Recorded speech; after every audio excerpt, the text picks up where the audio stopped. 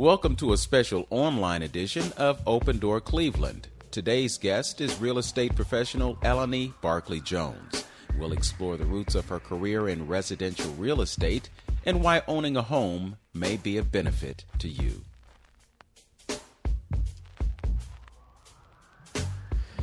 Welcome to Open Door, Vince Robinson, and I am talking with ElAnee Barclay Jones. She is a real estate professional in the Cleveland area and has been for quite some time. Welcome to Open Door, ElAnee.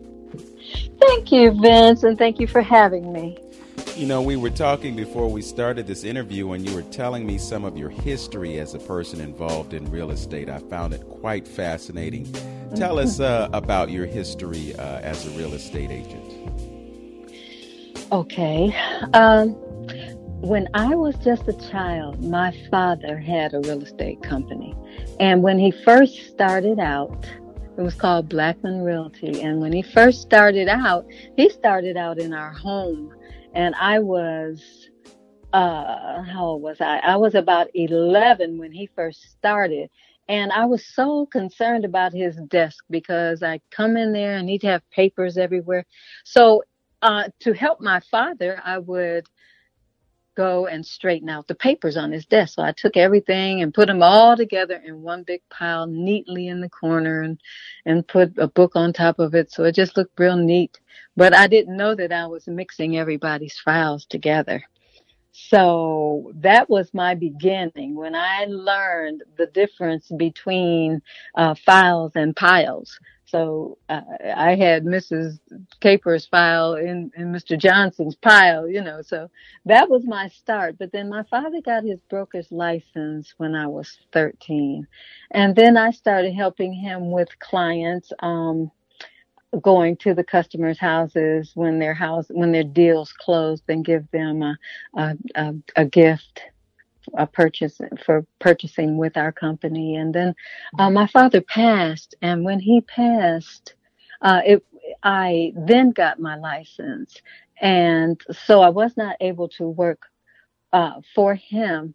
However, I uh, I worked in his memory. So I then became a real estate broker.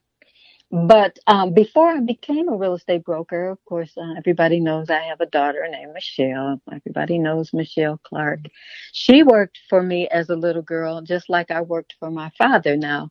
Uh, in those days, we call that the olden days or golden days or whatever. But in those days, you did not need to have a license to help with the customers. So I would tell my daughter, you know, call and make this appointment and and talk to this person and whatever. And I was so astonished at how her vo- vocabulary, her real estate understanding was, even when she was like nine years old, she was helping me.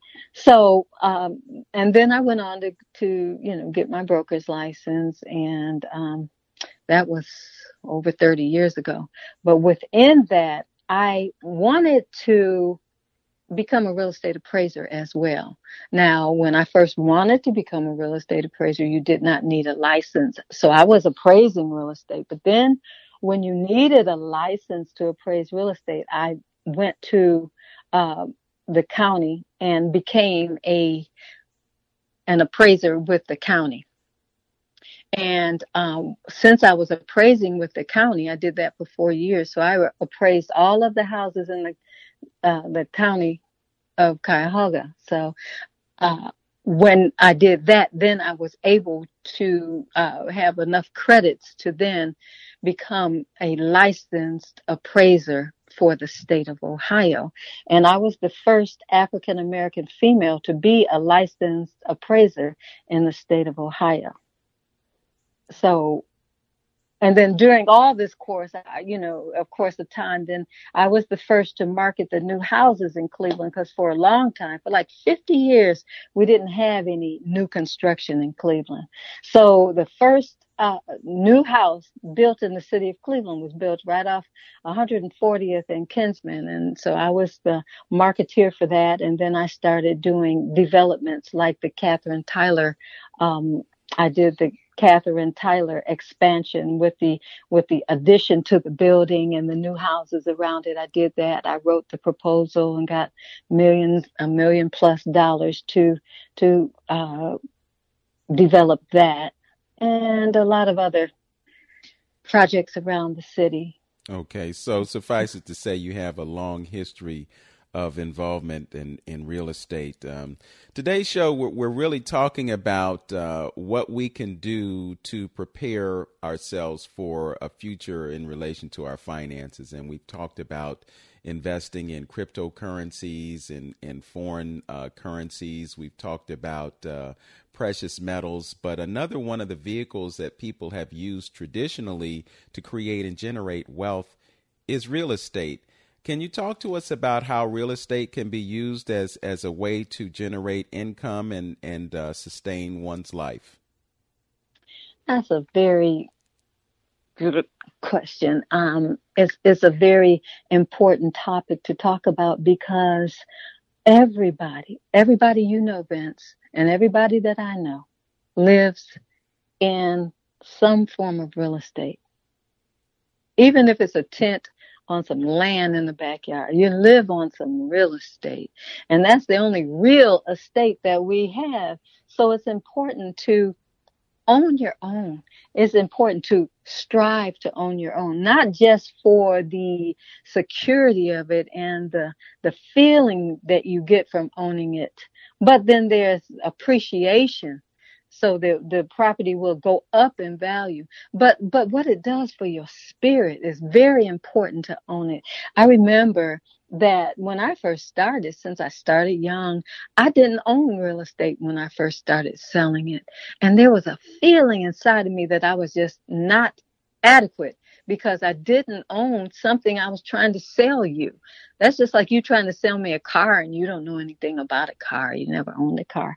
And I remember when I got my uh, a nice little uh, income tax check, and I was uh, selling real estate part time, and I was working, and uh, one of the men that worked with me suggested that I buy a house with my money.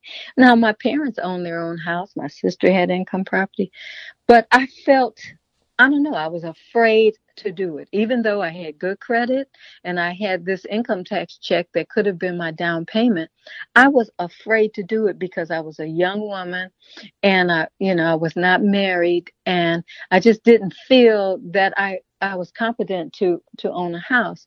But uh, I just want to tell, and we have some brave young sisters out there now. But I just want to tell everybody, you can do it. Just get a mentor who who can help you. It's not that hard. For one, it's not hard to get the property, and two, it's not hard to maintain it as long as you are the type of person who pays attention to what's going on.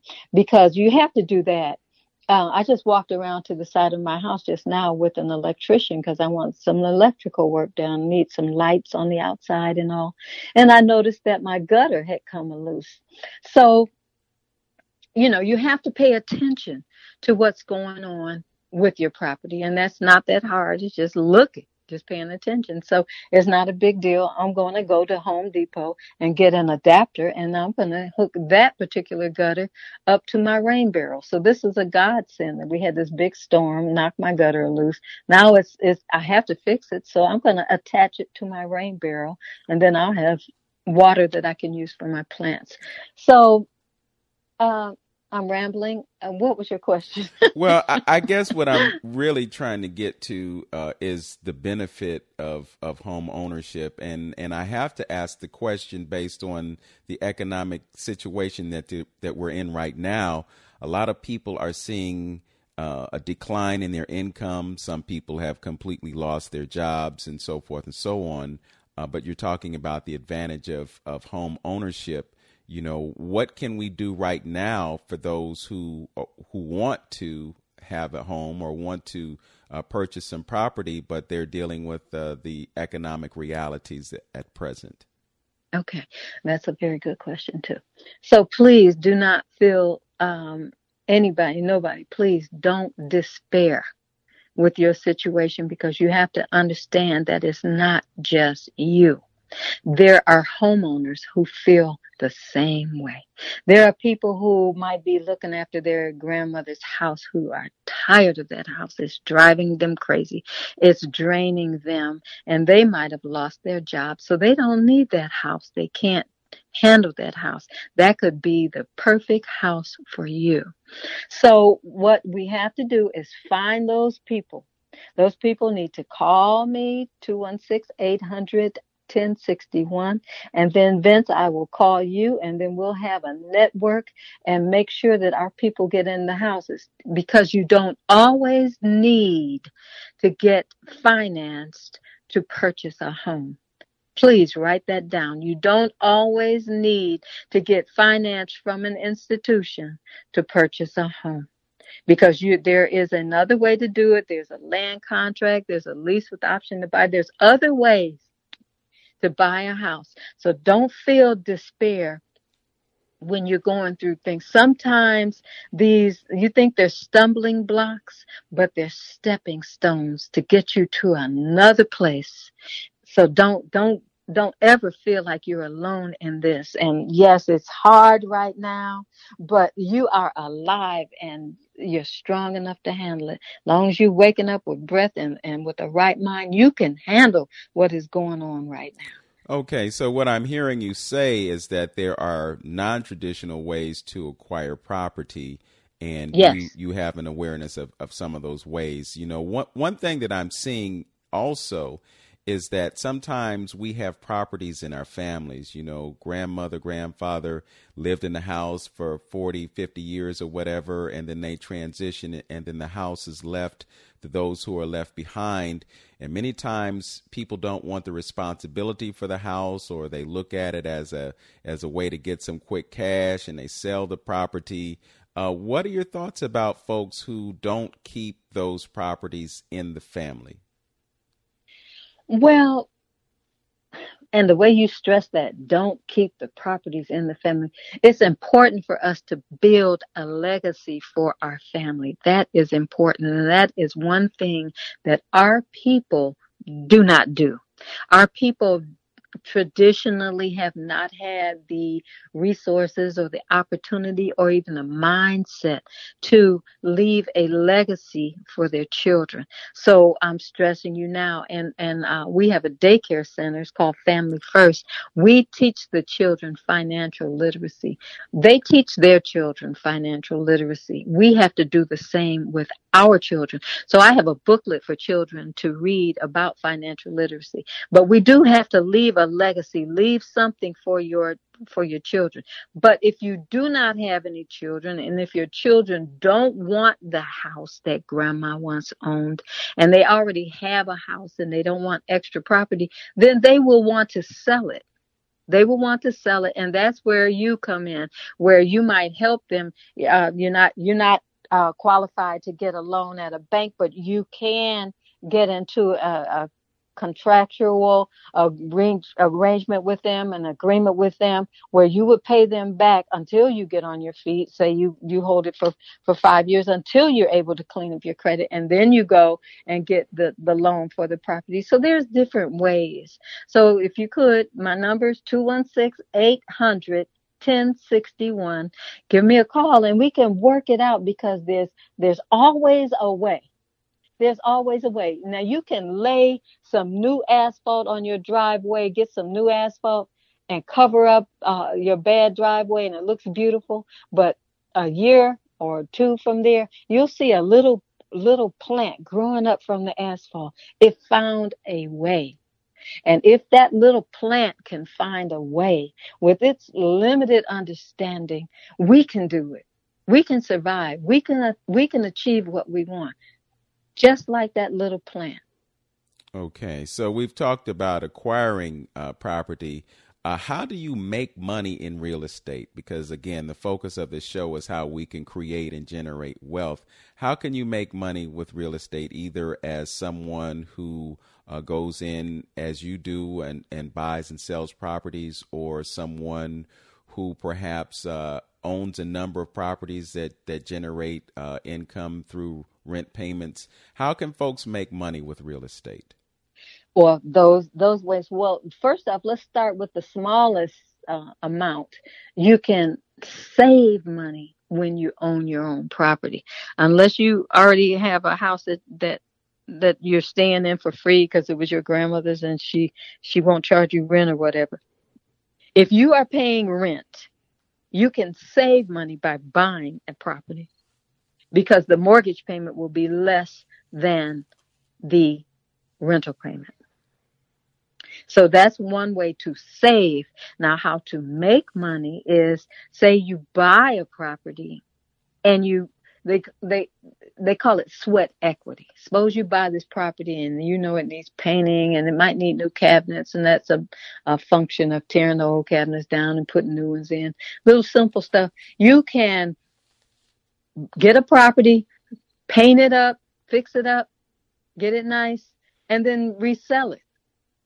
Or stay in it for a year or two. Save your money because you, you are paying less than you were for rent. Fix it up and then sell it. Okay. They call that mm-hmm. flipping, right?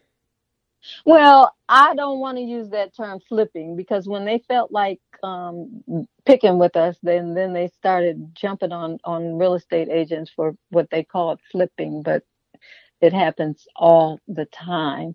So you just have to do it within the proper guidelines. Mm-hmm. Well, and I think key in that scenario uh, is that you don't develop an emotional attachment to the property. If you are going to be an investor, no, it's just business. If it's your house, then of course you're going to be emotional. You're going to love that that deck that you put the floor in and you're going to love the you know the carpet that you got Berber carpet and you really love it and you you know the colors just match your furniture. But if you are an investor, you're not going to be in love with the property. You you want to enhance the property and make it nice for someone else and then you want to make a profit off of it. So and now there's another way uh, if you buy income property and you you get a house and you want to rent it to someone else then you're going to put your love in that because you want to en- enhance the property to the to the degree that you will get a good tenant. Because every tenant ain't a good tenant. Now if you have a property that you just throw it together and then um, look for somebody to to rent it from you you're going to get the type of person who would settle for a house that's thrown together. So then that type of person might not be the tenant you want because then they're, if they can accept a house that's thrown together, then that might be the way they might live. So you don't, you want to get a house, fix it up nice, and you'll get somebody who appreciates a nice house. And what does appreciate mean? Appreciate means they make it better. So if you appreciate the house that you're living in, you're gonna make it better. How you make it better? You pay your rent on time. You don't tear it up. You know, you you you make it better by by paying the landlord, and then the landlord can then make some uh, some improvements to the property. Okay. You know, so uh, you you if you're going to do income property, make sure you fix it up yes. so that it's worthy of a good tenant. Okay. So, uh, what you're going to see in some situations is that folks don't want to deal with having tenants and having folks tear their property up and so forth and so on, or they don't want to be bothered with being connected to the, the routine maintenance that's required. Uh, there are other ways that you can make money, and I'm thinking of a real estate uh, investment trust. Uh, do you have any advice for for folks who might want to pursue that as a means of making money through real estate versus the typical uh, landlord tenant situation? If I understand your cor- uh, question correctly, um, you can if you if you're talking about rental property and you not um, you not being the one that maintains it, you just have an, an vested interest in it, and then you're with another group of people, and then they they hire it out to a management company that they manage it, and the money goes into a, a pot, and everybody shares it. Well, you just have to find the right management company that's what's very important in that equation is finding a the right conscientious management company and then there's going to be fees associated with that. So yeah, that's better if you don't want the headache and you don't want to go knocking on people's doors.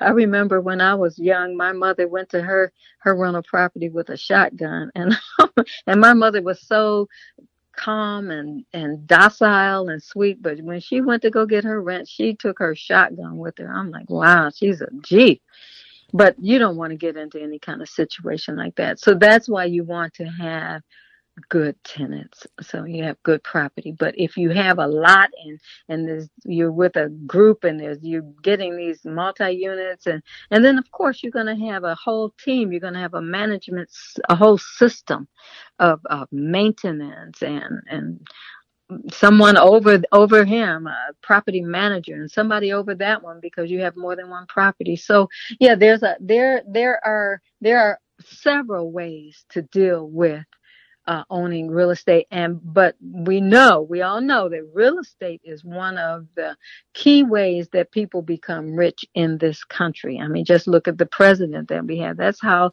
he became rich. He worked with his father and then, then he started acquiring real estate. So that's the foundation. Real estate is the foundation because it's real. It's a real estate. It's real.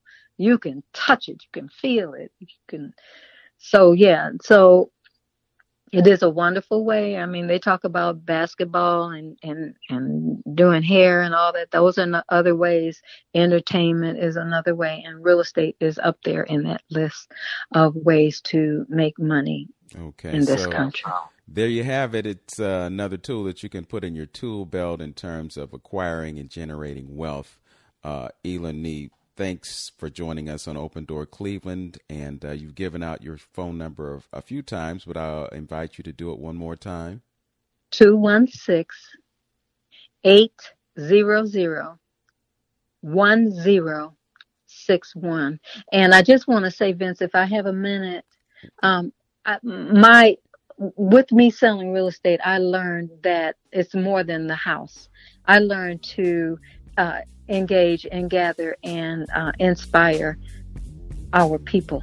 So that's where I got all that from. By selling real estate, I knew families needed help. And then I started Project Unity.